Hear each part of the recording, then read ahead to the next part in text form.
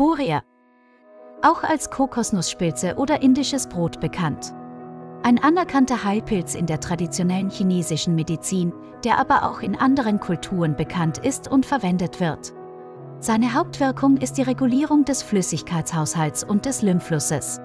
Sie harmonisiert den Energie- und Qi-Fluss im Körper. Es verhindert, dass überschüssiges Wasser im Körper zurückgehalten wird und dort stagniert. Adieu geschwollene Gliedmaßen. Beruhigt das Herz und die Seele, stärkt das wichtigste lymphatische Organ, die Milz.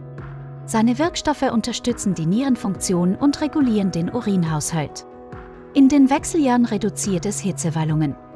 Immer mehr Kosmetikfirmen mischen es wegen seiner positiven Wirkung bei Hautproblemen in ihre Produkte. Traditionelle chinesische Mediziner glauben, dass es die Intelligenz eines Menschen maximieren und Gedächtnisprobleme bei Patienten verbessern kann.